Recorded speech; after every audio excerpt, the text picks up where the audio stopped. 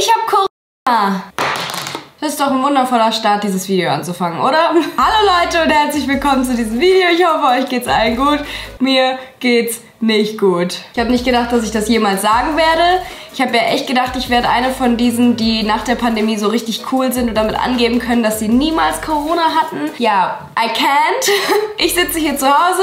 Matthias ist auch da, aber der ist richtig krank im Bett. Und mir ist langweilig. Deswegen habe ich meiner Mama gesagt, kauf mir doch bitte bei DM eine Blondierung. Ich färbe mir in dem YouTube-Video die Haare. Ich glaube, das ist eine ziemlich dumme Idee, aber ist mir scheißegal. Mir ist wirklich sehr langweilig. Außerdem habe ich meine Haare mittlerweile seit, glaube ich, anderthalb Jahren nicht mehr geschnitten. Die sind komplett versplitzt. Und ich wollte schon sehr, sehr lange unbedingt einen Stufenschnitt haben, damit ich mir diese coolen Waves machen kann, die so alle mittlerweile haben. Wisst ihr das hier? So diese coolen Stufenschnitte, mit denen man einfach so richtig hot und sexy aussieht. Ich habe meine Schere am Start und hoffe, dass ich das heute hinkriege. Und ich habe Angst weil ich habe das noch nie gemacht. Ich habe zwar meinen Freunden ziemlich oft schon die Haare geschnitten. Ich habe schon sehr oft die Haare geschnitten. Ich habe auch meiner Freundin schon mal die Haare gefärbt. Und ich habe mir auch immer selber die Haare geschnitten die letzten Jahre. Bis ich dann irgendwann einfach aufgehört habe damit. Aber ich habe halt immer nur so Spliss weggeschnitten und nie versucht, eine Frisur zu machen. Und ich habe halt auch keine Frisur. Ich habe einfach nur Haare, die so nach unten blöppen. Und ich möchte jetzt gerne einen coolen Stufenschnitt haben. Wahrscheinlich sollte ich dazu eigentlich zu einem Friseur gehen. Aber ich kann nicht rausgehen. Deswegen muss ich das jetzt leider hier drin alleine machen. Und eigentlich habe ich auch keinen Bock, mir irgendwelche Tutorials anzugucken und würde jetzt am liebsten einfach starten. Aber ich glaube, ein Tutorial gucke ich mir trotzdem lieber an, weil Stufenschnitt ist, glaube ich, ein bisschen schwieriger. Let's go! Stufen selber schneiden. Gebe ich jetzt einfach mal bei YouTube ein und hoffe auf keine Ergebnisse. Ich habe kein Internet. Herzlichen Glückwunsch. Oh mein Gott, typisch Sissy. Kennt ihr die noch? Alle, die früher schon YouTube-Videos geschaut haben. Ich schwöre euch, jeder kennt Sissy. Okay, Sissy, show me how to do it. Okay, was tut sie jetzt? Oh nein, ich glaube, sie macht einen Zopf. Nee, das finde ich gruselig. Sowas mit Zopf will ich nicht machen. Das wird total das wird eh nix. Sorry, aber Zopf machen wir nicht, Sissy. Hier, Haare, Haare schneiden mit Stufen. Ich will einfach nur, dass er mir zeigt, wie ihr das macht. Die schiebt die einfach so noch. Okay, das ist ungefähr so, wie ich mir auch gedacht habe, wie man es macht. Glaube ich. Wisst ihr was? Ich fange jetzt einfach an. Ich brauche keine Tutorials. Ich habe das jetzt ein bisschen gesehen und das reicht. Ich hasse dieses Video jetzt schon. Ich mache einfach ab Schritt 1 nichts richtig. Eigentlich soll man seine Haare jetzt waschen. Ich sprühe sie einfach mit Wasser an, weil ich habe keinen Bock, sie zu waschen. Ich habe die gestern schon gewaschen. Das muss reichen. Die Haare müssen allerdings wirklich komplett handtuchtrocken, beziehungsweise nass sein. Äh, richtig eklig. Egal. Das Beste ist auch... Scheiße. Oh mein Gott. Ich habe gerade einfach meinen Spiegel in zwei geteilt. Oh, da seid ihr. Hello. Egal. Funktioniert bestimmt trotzdem. Okay, jetzt kann ich mich dort sehen und sehe, dass meine Haare definitiv noch zu trocken sind. Ich liebe auch, dass ich direkt nur diesen Kamm hier habe und keine Bürste. Ich glaube, jeder, der schon mal diesen Kamm benutzt hat, weiß, wie schmerzhaft das ist. Da wir hier ja beim Friseursalon Julia Beauty sind, haben wir natürlich auch einen Friseurmantel. Obviously. Ich hoffe, der hat Ärmel, weil sonst kann ich nicht arbeiten bin nämlich heute mein eigener Friseur. Boah, kennt ihr das vom Friseur, diese Teile? Ich schwöre, mir hat noch kein einziges Mal ein Friseur damit nicht die Luft abgeschnitten. Deswegen gehe ich auch nicht mehr zum Friseur. Okay, hat das Ärmel? Nein, hat's nicht. Als erstes müssen die Haare jetzt abgetrennt werden. Und ich mache das jetzt einfach mal so, wie ich das gerade, glaube ich, gesehen habe. Glaube ich. So, die oberste Box, nennen die das, soll man hier abtrennen.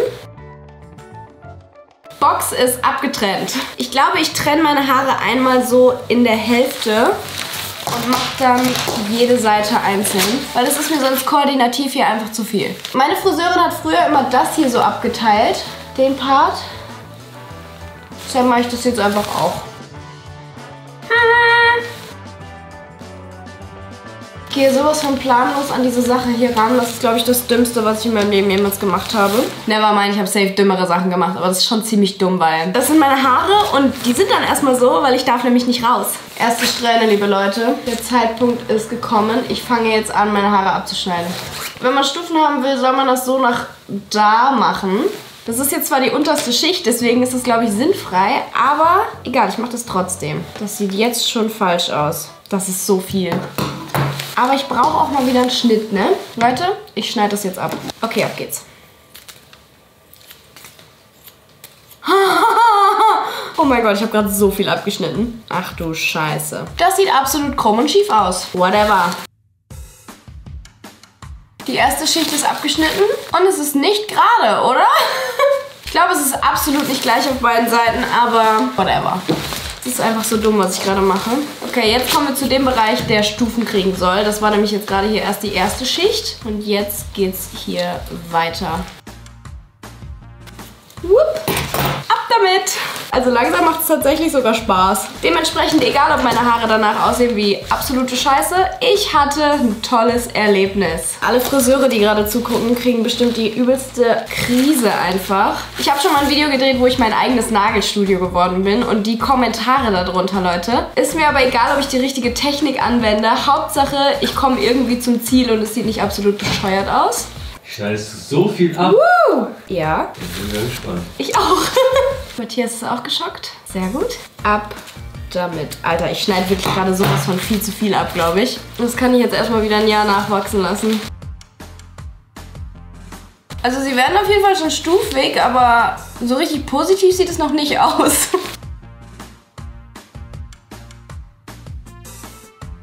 Ich bin einfach so ein Vollidiot. Oh mein Gott. Wenn ihr gerade auch in Quarantäne seid, Leute, bitte nehmt euch mich nicht als Vorbild. Fangt nicht an, eure Haare zu schneiden. Just don't. Es sei denn, das hier sieht nachher geil aus. Dann versucht's. Aber bitte, bevor ihr anfangt, guckt dieses Video zu Ende. Vielleicht schrecke ich euch dann damit noch ab. Hm. Ich schneide gerade einfach so viele Haare ab. Sieht man das? Es ist einfach so eine krasse Länge, die ich gerade einfach abrasiere nicht rasieren, aber so abschäbel. Ich hoffe, ich werde das nicht bereuen. Oh mein Gott. Es fühlt sich so komisch an. Es ist so kurz. Aha. Irgendwie geht es gerade so voll schnell. Ich bin einfach schon bei dieser Vorderpartie angelangt. Seltsam. Das geht irgendwie zu schnell. Ich kann nur was falsch machen. Das geht zu schnell. Die, von der ich vorhin das Video gesehen habe, hat ihre Haare so nach vorne gemacht. Ich mache das jetzt einfach auch mal. Holy fucking shit. Ohne Spaß, es tut mir wirklich leid für jeden Friseur, der dieses Video gerade sieht. Es hat sowieso jeder Friseur bis jetzt abgeschaltet, weil man davon, glaube ich, Wutanfälle und Depressionen kriegt. Kommen wir zur oberen Kopfpartie, zur Topbox oder wie die das genannt haben. Den Part hier muss ich jetzt obviously, glaube ich, am kürzesten schneiden, oder? Weil das sind die oberen Haare und beim Stufenschnitt sind die oberen Haare die kürzesten. Deswegen hau ich das jetzt einfach mal ab. So, und jetzt kommt hier noch meine vordere Seite. Ich will mir nämlich auch so eine Art Pony machen. Also nicht richtigen Pony, so, so Pony, sondern so dieser, der so cool fällt. Guck mal, das Ding ist, ich versuche so richtig das so professionell zu machen und trenne so meine Haare die ganze Zeit ab mit so einem coolen Kamm, der so übelst professional aussehen soll zumindest. Dann hole ich die Schere und alles sieht aus wie Scheiße. Man soll jetzt diese Haare so über Kreuz machen, habe ich gesehen. Keine Ahnung, ob das Sinn macht. Ich probiere es jetzt einfach aus. Ich bin jetzt hier einfach euer Versuchskaninchen, Leute. Ob das nachher gut aussieht oder nicht, ist hier jetzt egal.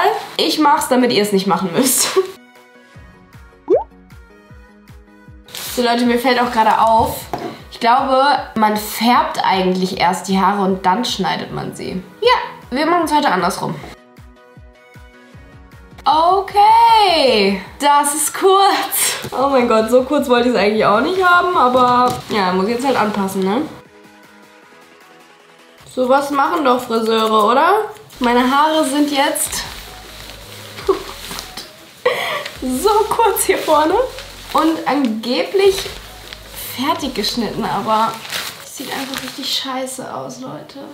Ich weiß nicht, ob man das irgendwie sehen kann, aber ich habe so fette Haarstufen jetzt in den Haaren. Das sieht einfach absolut dämlich aus. Ich habe das wirklich so kacke gemacht, deswegen mache ich jetzt doch diese Zopfmethode in der Hoffnung, dass irgendwas hier gerettet wird.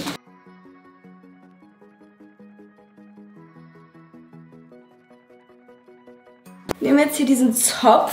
Und ich muss sagen, im Zopf sehen die Haare gar nicht mehr so kacke aus. Sissy hat ihren Zopf auf jeden Fall nochmal abgetrennt. Und alle Haare fallen schon raus. Das ist super. Ich glaube, das ist eigentlich nicht der Sinn davon. Egal, ich schneide das jetzt hier nochmal und mache jetzt auch diesen Friseur-Haare ausdünnen und gerader und besser aussehen lassen Trick. Ich weiß nicht, ob das gerade irgendwas rettet oder die Haare einfach nur kürzer macht. Ich hoffe wirklich so sehr, dass das gerade irgendeinen Effekt hat, was ich hier tue, um es irgendwie positiv zu verändern. Ich habe irgendwie die Befürchtung, aber nein. Haare sind abgeschnitten.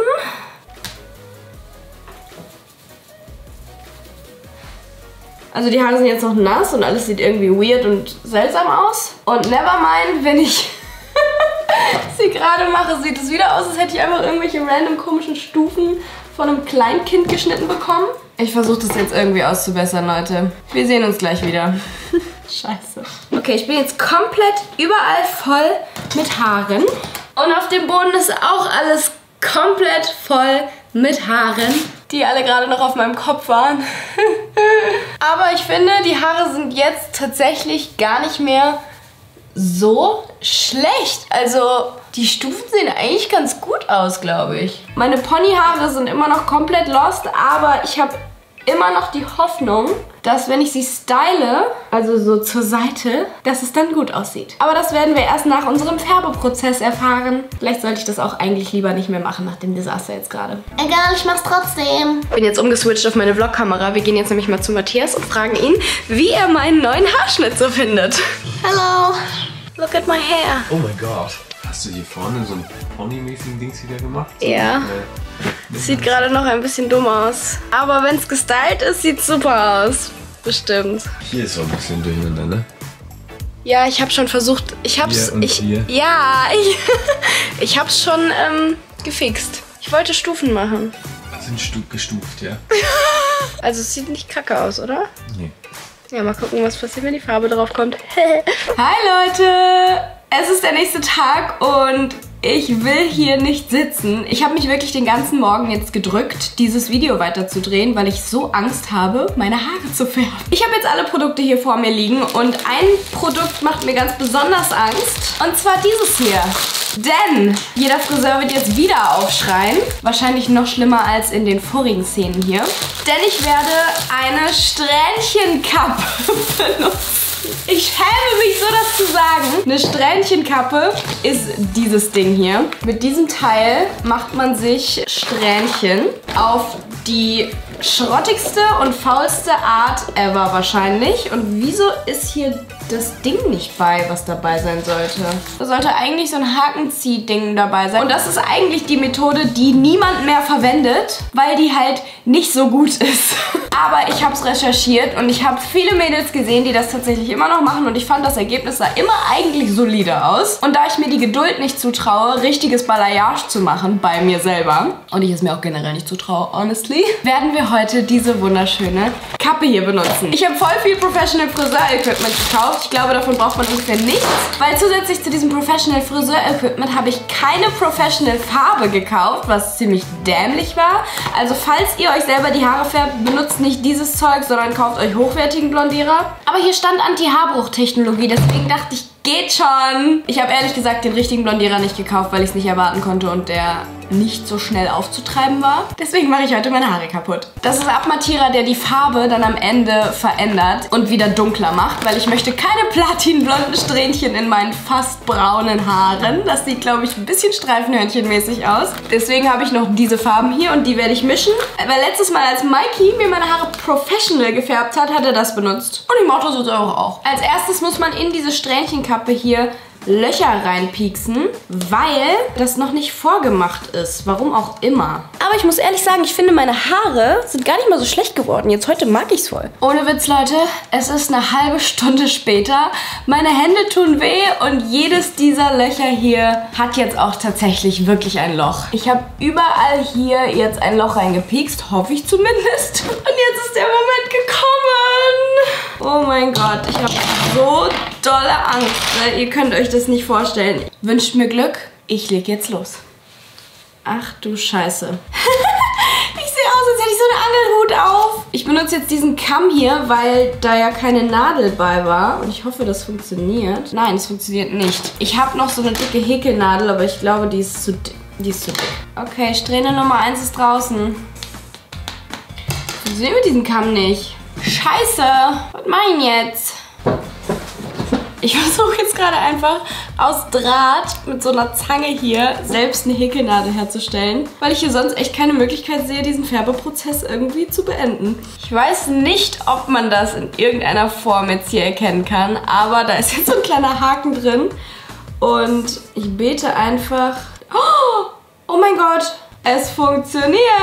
Und das war eine viel zu fette Strähne. Die kommt wieder rein. Es funktioniert einfach. Ich bin der DIY-Profi, Leute. Okay, jetzt kann der Strähnchen-Rausziehprozess richtig beginnen. Oh mein Gott, Alter, das ist so anstrengend. Ich werde hier einfach vier Stunden sitzen, ich schwör's euch. Und ich habe echt keine Ahnung, wie ich das am Hinterkopf machen soll. Das wird sowas von null funktionieren alles. Oh mein Gott. Oh mein Gott, Leute, meine Schwester war die Rettung. Sie hat mir jetzt eine richtige Häkelnadel gebracht. Die ist zwar immer noch relativ dick, aber she's working. Und das ist alles, was zählt. Egal, weiter geht's mit dem Zeitraffer. Ich hoffe, es geht schnell vorbei. Leute, ohne Witz, ich raste gleich aus. Da kommen die ganze Zeit solche fetten Strähnen raus. Und ich weiß nicht, was ich tun soll, weil es einfach viel zu dick ist und Knoten macht. Und ich Oh, ich werde richtig sauer. Oh mein Gott, ich werde so sauer gerade. Ich bin kurz davor, diese Scheiße hier einfach abzubrechen. Diese Strähnen werden auch viel zu dick. Das ist so ungleichmäßig alles.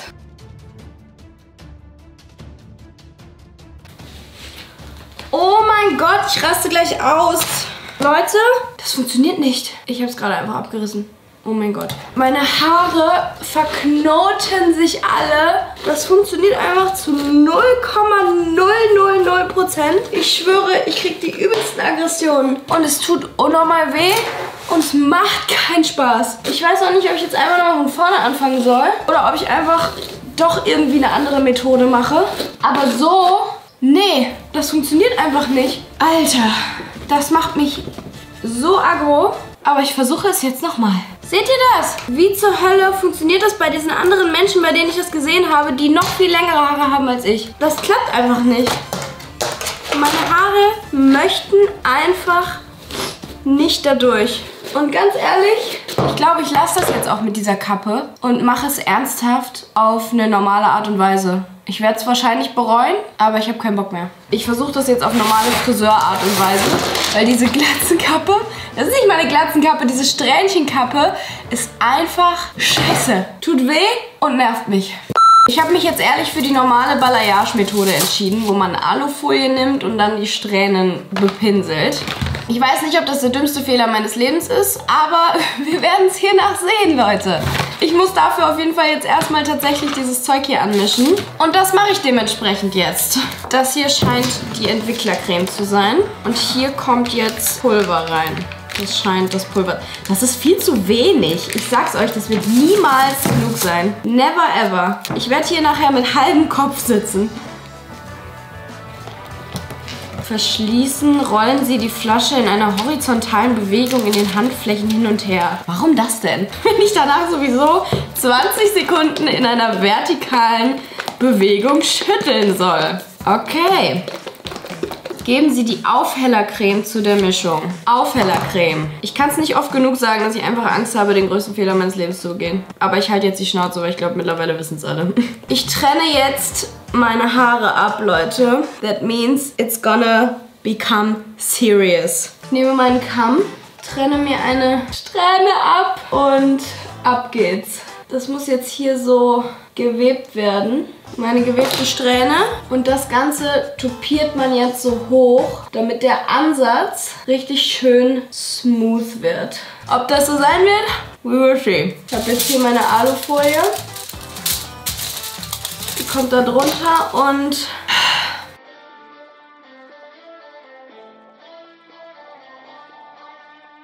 das wird jetzt eingewickelt und bleibt hoffentlich an Ort und Stelle. Nächste Strähne. Oh mein Gott, Leute, wisst ihr, was ich auch einfach komplett vergessen habe? Ich muss ja Handschuhe anziehen. Ich habe schon gedacht, irgendwie ist weird. Handschuhe. Ey, mit Handschuhen ist das einfach noch so viel schwieriger, wenn man absolut null Gefühl mehr in seinen Händen hat und für seine Haare. Ich habe keine Ahnung, was ich hier jetzt gerade mache. Ohne Spaß. Ich kann einfach nicht mehr, ne? Mir tut alles weh. Ich weiß langsam, warum man für manche Dinge einfach zu den Profis gehen sollte. Nächstes Mal, ohne Witz, ich gehe einfach wieder zum Friseur. Egal, ob das jetzt die schönste Frisur meines Lebens wird, was es definitiv nicht sein wird, oder nicht. Das ist einfach so stressful, das selber zu machen. Das Ding ist, ich habe so Angst vor den oberen Parts hier, ne? Weil die einfach am anspruchsvollsten sind. Es sind vor allen Dingen jetzt auch schon 30 Minuten vorbei und meine unteren Haare hier sind immer noch in der Folie. Ich glaube, ich sollte die jetzt langsam wirklich mal auswaschen, egal ob ich hier oben fertig bin oder nicht. Aber die Strähne hier mache ich noch und dann wasche ich das aus. Let me destroy my hair for a YouTube video. Ich weiß nicht, ob ich den Rest hier jetzt einfach noch eben schnell machen soll und dann die unteren Strähnen rausnehmen oder ob ich das jetzt machen sollte. Ich habe wirklich gerade ein bisschen Angst, dass ich so meine kompletten Haare gerade abbrenne. Ich glaube, ich sollte mal nach den unteren Strähnen hier gucken. Das wäre mein Todesurteil, wenn ich das jetzt nicht tue. Okay. Oh mein Gott, Leute. Seht ihr das? Es ist heller geworden, aber es ist so unnormal fleckig, glaube ich. Ich glaube, ich sollte es wirklich auswaschen. Oh mein Gott. Okay, ich sollte diese ganzen Teile hier auswaschen. Ach du Scheiße. Das muss dringend daraus. Scheiße. Wie soll ich denn jetzt meine Haare hier unten waschen, wenn ich da oben nicht mal fertig bin? Okay, keine Ahnung, wie ich das jetzt machen soll. Ich gehe mal ins Badezimmer. Welcome to my Badezimmer. Und ich wasche das jetzt irgendwie aus. Was tue ich hier? Leute, färbt niemals alleine eure Haare. Ohne Witz, ist einfach dumm. Ey, aber ich habe auf jeden Fall hellere Haare. Okay, jetzt die andere Seite. Ich glaube, das kann man auswaschen. aber dringend. Okay, wir können weiter färben. Ich will nicht wissen, was passiert wäre, wenn ich das jetzt nicht ausgewaschen hätte. Der Moment ist gekommen, die letzte Strähne meines Kopfes ist dran und ich bin so ready. Oh mein Gott. Oh, und ich habe keine Alufolie mehr. Das war dumm. Die fucking letzte Strähne ist angemalt. Und ich gehe jetzt die anderen Strähnen mal weiter auswaschen und wir sehen uns dann gleich wieder, wenn einfach alles fertig ist. Weil ich glaube, den Auswaschprozess haben wir gerade alle gesehen und mich beim Duschen, no. Ich habe jetzt noch so ein paar einzelne kleine Strähnchen heller gemacht, was ich wahrscheinlich nicht hätte machen sollen, vor allen Dingen mit meinen Händen. Aber ich glaube, wir haben mittlerweile in diesem Video schon gemerkt, dass mich Regeln bezogen auf wichtige Dinge nicht so interessieren. Ich lasse es jetzt auf jeden Fall noch ein bisschen einwirken und dann muss ich so ein kräftigender Balsamzeug hier drauf machen, damit die Haare danach nicht mehr gelb sind. Das heißt, ich glaube, ich brauche dieses andere professionellere Zeug tatsächlich gar nicht mehr. Ich wasche meine Haare jetzt aus, pack das rein und dann sehen wir uns gleich wieder. Oh mein Gott, Leute. Ihr seid nicht ready. Wollt ihr das Ergebnis sehen? Das Ergebnis ohne zu übertreiben. Das Ergebnis ist so krass geworden. Ah! Ich habe meine Haare jetzt schon gelockt. Und Leute, how the fuck habe ich das gemacht? Guckt euch bitte diese Strähnen an. Es ist richtig gut geworden. Ich bin geschockt. Ohne Witz, ich bin geschockt. Ich habe mit dem Schlimmsten gerechnet. Aber, Alter, ist das krass geworden. Ich sehe gerade noch so ein bisschen aus wie eine Föhnpuppe, aber das Bild, was ich euch gezeigt hatte, I mean, hello! Ich bin jetzt Friseur. Wie ich da hingekommen bin, ist total egal, aber dieses Ergebnis ist ja wohl über nice einfach. Schreibt mir unbedingt mal, wie ihr es findet. Ich habe jetzt hier ein Vorher-Nachher-Bild und ich habe kein richtiges Vorher, weil ich vergessen habe, bevor ich meine Haare geschnitten habe, ein Vorher zu machen. Aber schon alleine das Vorher-Nachher mit der Farbe. Leute, gönnt euch. Sieht das nicht übertrieben krass aus? Dieser Unterschied? Ich bin einfach nur geschockt. As I said, Leute, ihr könnt mich buchen. Termine vergebe ich in den Kommentaren. Bringt euch am besten eine Schlafmaske mit, damit ihr nicht den Prozess mitbekommt. Aber das Endergebnis wird der Hammer. Ich hoffe, euch hat dieses Video gefallen. Wenn ihr so ist, gebt mir auf jeden Fall gerne einen Daumen nach oben. Ich war ja schon mal meine eigene Nageldesignerin. Heute war ich mein eigener Friseur. Schreibt mir mal, was ich noch so bei mir selbst werden soll. Ich habe Bock, diese Reihe weiterzuführen, also packt es auf jeden Fall gerne mal in die Kommentare. Hier könnt ihr noch bei meinen letzten beiden Videos vorbeischauen. Und dann sehen wir uns beim nächsten Mal wieder. Tschüss!